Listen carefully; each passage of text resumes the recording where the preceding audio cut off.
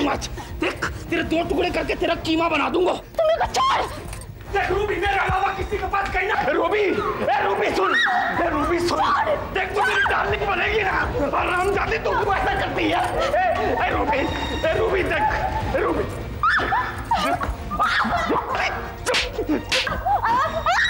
चुप चुप चुप चुप चुप आराम जाती तेरे को मैंने हज़ार बार कही है, तू सामू से नहीं मिलेगी। तेरा पूरा खून यही निकाल के रख दूँगा मैं। सच्चे प्यार करता हूँ मैं तेरे से, समझ रही है ना?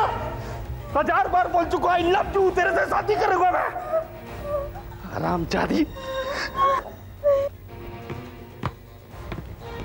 साले गरीब आदमी हूँ मैं, राजा नहीं हूँ, लेकिन सच्चा प्यार करता हूँ तेरे से मैं।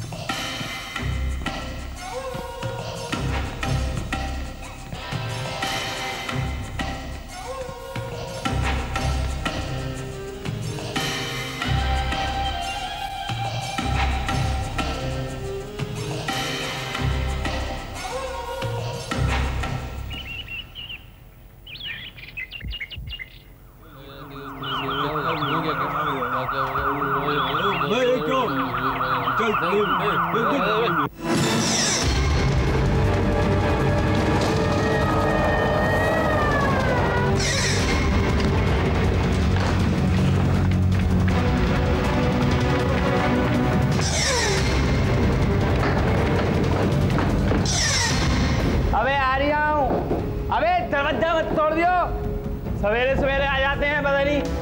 अबे कौन है सवेरे सवेरे? कौन है अबे? अबे कौन है? नाम जसवंत है? हाँ हाँ। घर गए थे रात को? वो, वो, ह- हमारे डार्लिंग है हम तो जाए। क्या क्या कर रहे हैं आप? अरे हम लग आदमी हैं हम साली बात में आप क्या कर रहे हैं? एक घंटे से समझा रही हो भाई नहीं हूँ नहीं हूँ भाई सीधा साधा आदमी हूँ मैं। ज़बरदस्ती पकड़ के ले आयो तुमने अबे चुप कर क्या तुम जानते नहीं है मेरा नेताओं के साथ उठना बैठना है। तुम्हारी सारी वर्दी उतरवा दूँगा मिनट में मैं। तुम जानते हैं ना मेरे को? समझ में आ रही तुम्हारी?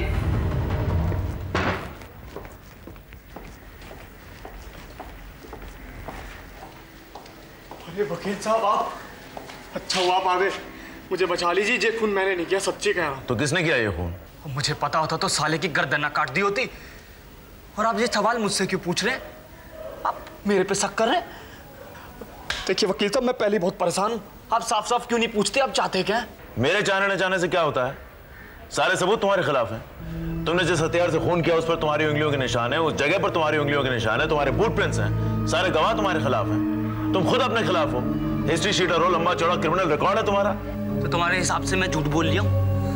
इतने बड़े बदमाश हम नहीं है कि किसी का भी खून कर दें। और खास तौर से उसका जिसके साथ हमारा लव चल लिया था।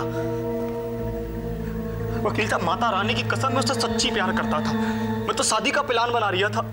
मैं तो उससे कहता था हरामजादी छोड़ दे गंदी जगह, चल मेरे साथ, तेरे को महलों में रखूँगा रानी बना के। लेकिन मानती नहीं थी। अब बस एक प्रॉब्लम है हमारे साथ कि गुस्सा बहुत जल्दी आ जाती है हमको। तो उस दिन भी मेरे को गुस्सा आ गया था तो मैंने उसको थोड़ा सा मारा था बस। मैंने उसको जान से नहीं मारा। आप विश्वास कीजिए मेरा प्लीज़ देखो अदालत में जो होगा मैं करूँगा। वकील साहब आपकी जो फ़ीस होगी ना मेरी माँ अपने गहने बेच के दे देगी। आप ज़्यादा कहोगे तो ज़्यादा दे देगी लेकिन मेरे को बचा लो।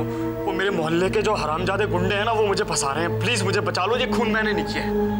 मैं देखता हूँ क्या कर सकता हूँ। Absolutely hopeless case, Akash. There's not even a slim chance.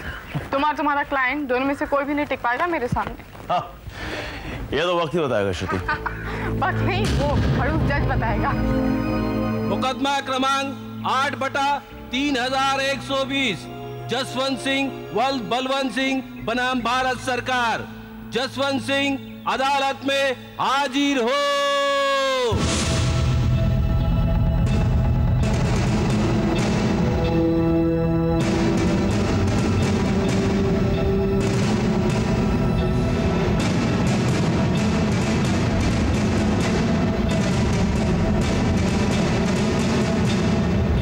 गवाहों के बयानात मौका वारदात पर पाए गए सबूत और मौका हालात के मद्देनजर ये अदालत जसवंत सिंह वल बलवंत सिंह को रूबी दरिया के कत्ल के जुर्म में ताजीरात हिंद की दफ़ा 302 और 307 के तहत मुजरिम करार देते हुए सात साल की सख्त कैदे मुशक्कत की सजा सुनाती है।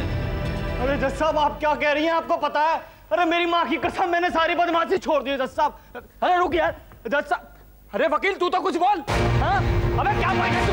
अबे छोड़ यार तू वकील क्या?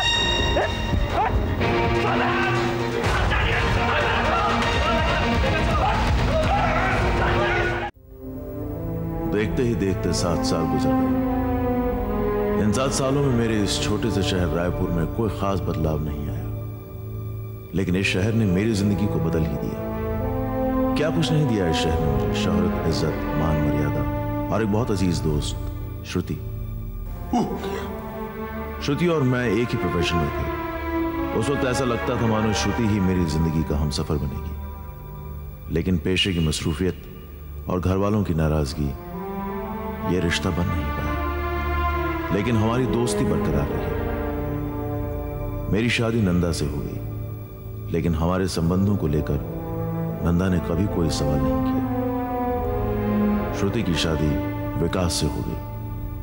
मैं नंदा के साथ बहुत खुश था और श्रुति विकास के साथ। हमारी किस्मत अच्छी थी कि हमारे संबंधों को लेकर न तो नंदा को कभी परेशानी हुई और न ही विकास को। बल्कि उन्हें तो ताजुब होता था कि कोर्ट में हर रोज एक दूसरे के साथ तर्क वितर्क, आरोप प्रत्यारोप, बहस करने के बावजूद हम इतने अच्छे दोस्त कैसे हो सकते हैं? हम चारों में अंतरंग संबंध थे और लगभग रोज ही हम एक दूसरे से कहीं ना कहीं मिलते थे।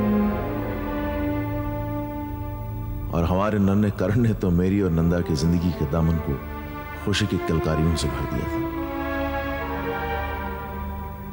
कानून की निटी ग्रिटी ना ही तुमने बनाई और ना ही मैंने। देखो आकाश जो एविडेंसेस एडमिट हुए हैं उन्हीं पर कन्विक्शन मिला है मुझे। और ये सारा लीगल प्रोसेस इन्हीं एविडेंसेस पर बेस्ड है। और तुम्हारे जैसे लोग उस बात का फ़ायदा उठाते हैं। उन्हीं बातों को किसी भी तरह से प्रेजेंट कर देते हैं बस केस हाथ में आना चाहिए ना? तो क्या कहना चाहते हो तुम? मैंने एविडेंसेस को डिस्टॉर्ट किए? नहीं सिस्टम का फ़ायदा उठा रही है। देखो आकाश मेरी नज़र में तुम्हारा मुवक्किल गुनेगार था और मैंने यही साबित किया है बस।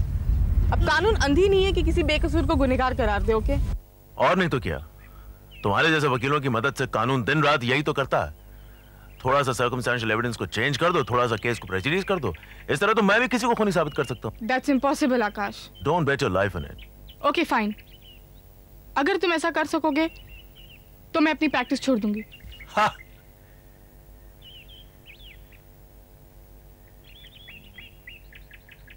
लगी शर्त? लग गई। सोच लो। मैं बिना तुम्हारा फ़ोन किए साबित कर सकता हूँ कि मैंने तुम्हारा फ़ोन किया है। आकाश क्यों मना रहे हो मुझे। No I can do that सिर्फ़ तुम्हें थोड़ा सा कोऑपरेट करना होगा। डन डन मैं जानता था मैं एक खतरनाक खेल खेलने जा रहा हूँ।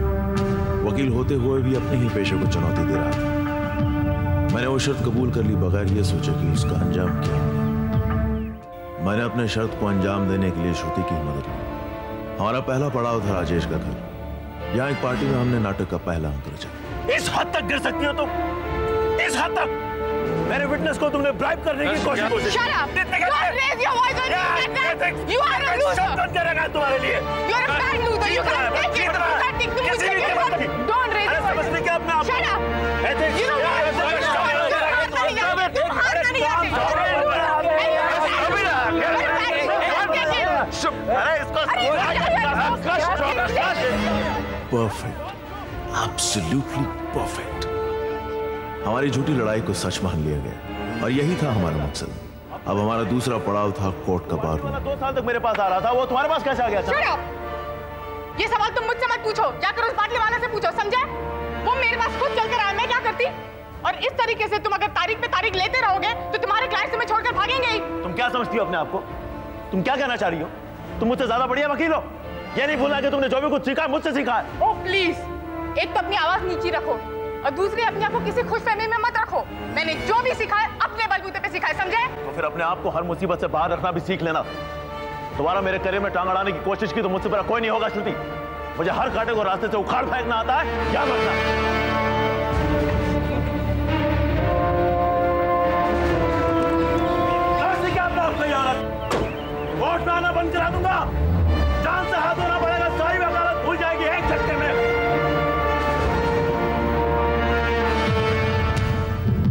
दोस्तों के दिमाग में ये बात बहुत अच्छी तरह बैठ गई कि हमारी दोस्ती में कड़वाहट पैदा हो गई है। अब तक सब कुछ वैसा ही हो रहा था जैसा हम चाहते थे। हम अपने मकसद में कामयाब थे। अब बारी थी नाटक की क्लाइमैक्स की और इसके लिए हमने चुना श्रुति के नानी का फार्म हाउस जो शहर से बहुत दूर एक सुनसान इलाके में था। मैंने अपनी मोबाइल फ़ोन और टेलीफोन लाइन दोनों ही काट दिए। गुड बस अब हफ़्ते भर के लिए तुम्हें चिल आउट करो। उसके बाद देखते हैं। तब तक के लिए मैं तुम्हारे फेवरेट ऑथर की किताब लेके आया हूँ। तुम्हें कंपनी लेने के थैंक यू ओह वाह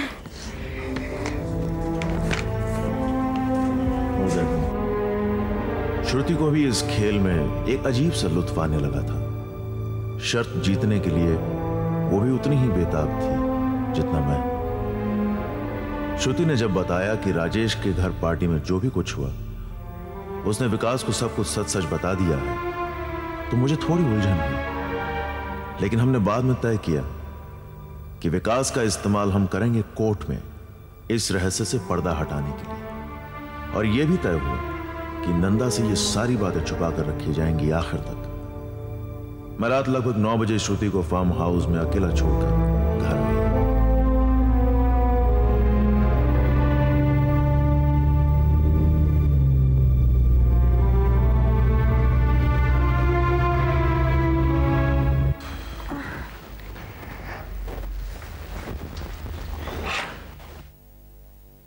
कहाँ थे इतनी देर तक? कब से ढूंढ रही हूँ आपको? सेलफोन खरीदा है तो उसे ऑन भी रखा कीजिए। तुम्हारे तो सवाल ही खत्म नहीं होते हैं। भाई, कामकाज करना पड़ता है, दिन भर घर पे बैठे रहने से थोड़ी चलेगा।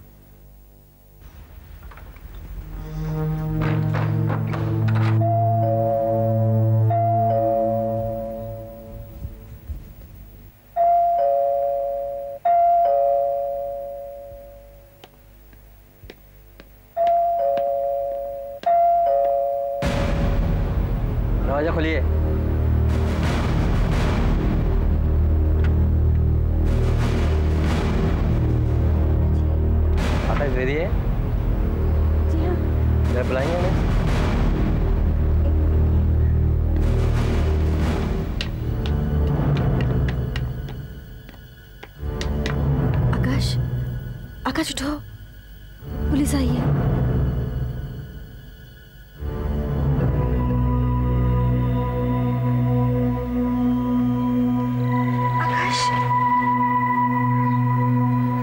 की कोई बात नहीं।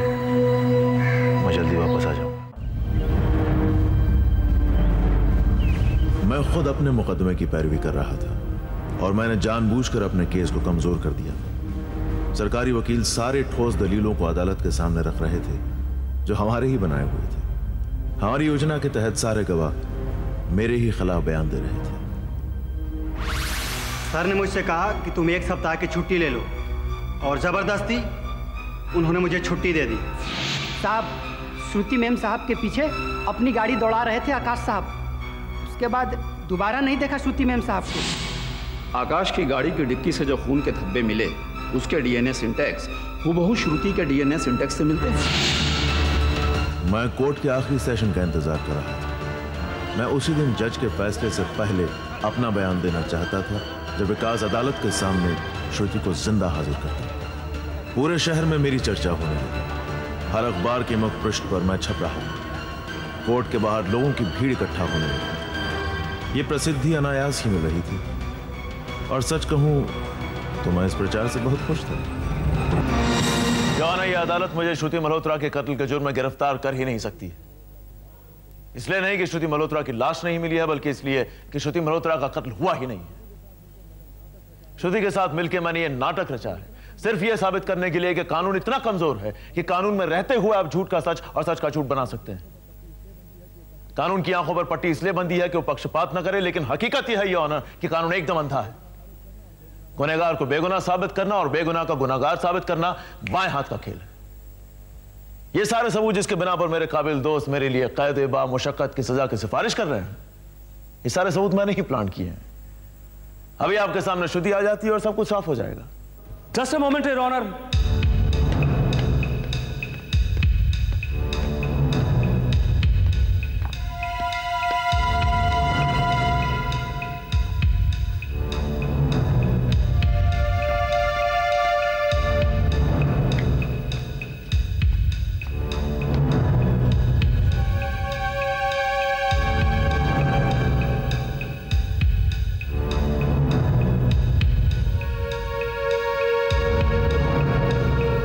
इस केस ने एक पेचीदा मोड़ लिया है।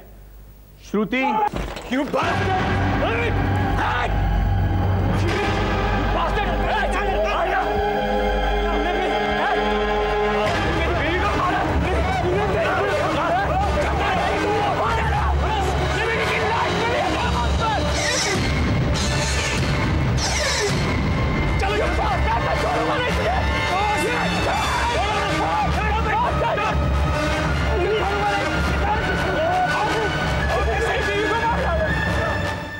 मिलॉर्ड, कातिल का जुर्म पहले ही साबित हो चुका है। एस्ट्रे फार्म हाउस से बरामद। इस पर के उंगलियों के निशान आकाश द्विवेदी के एग्जिबिट नंबर वन बी ये सिगरेट बर्ड्स जो इसी एस्ट्रे से मिले हैं। और ये रहे फॉरेंसिक लैब के रिपोर्ट्स जो ये साबित करते हैं कि इन बर्ड्स में मिले सलाइवा के डीएनए स्ट्रैंड्स भी आकाश द्विवेदी के ही।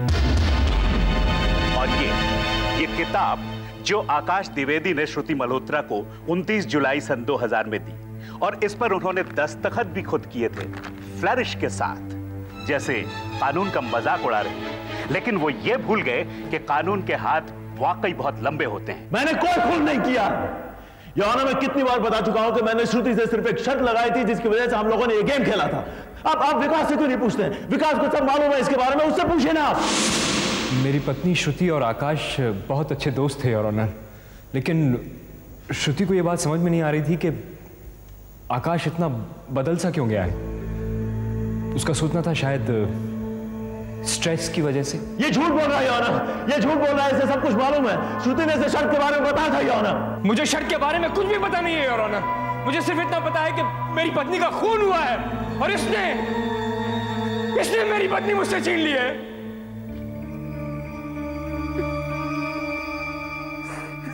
थैंक यू मिस्टर विकास अब आप जा सकते हैं। योर ऑनर अब मैं आपके सामने एक और गवाह पेश करने की इजाज़त चाहता हूँ। श्रुति मल्होत्रा के मामा मिस्टर दिनेश बजाज। मैं फार्म हाउस के साथ ही रहता हूँ। आसपास सिर्फ़ मेरा ही घर है। फार्म हाउस के रास्ते में ही पड़ता है। उनतीस तारीख की रात मैंने फार्म हाउस में लाइट देखा। बहुत दिनों से वहाँ कोई आता जाता नहीं था, इसीलिए मुझे क्यूरियोसिटी हुई। मैं घर से बाहर आया। तो आकाश की गाड़ी को फार्म हाउस से निकलते देखा। मैंने सोचा शायद श्रुति की किसी काम से आकाश यहाँ आया होगा। झूठ! ये झूठ बोल रहा है यौना मैं आठ बजे उस फार्म हाउस से निकल आया था। सब झूठ बोल रहे हैं। एक सिर्फ़ तुम ही सच बोल रहे हो है ना? यकीन कीजिए जज साहब मैंने कोई खून नहीं किया। मैंने श्रुति का खून नहीं किया यौना श्रुति से मेरी लीगल सिस्टम को लेकर बहुत बहस होती थी मैं उसे ये कहता था कि सच का झूठ और झूठ का सच बनाना कितना आसान है ये साबित करने के लिए मैंने श्रुति से शर्त लगाई थी मैंने उसे ये कहा था कि मैं उसे बिना मारे ये साबित कर सकता हूँ कि मैंने उसको मारा है और एन वक्त में उसे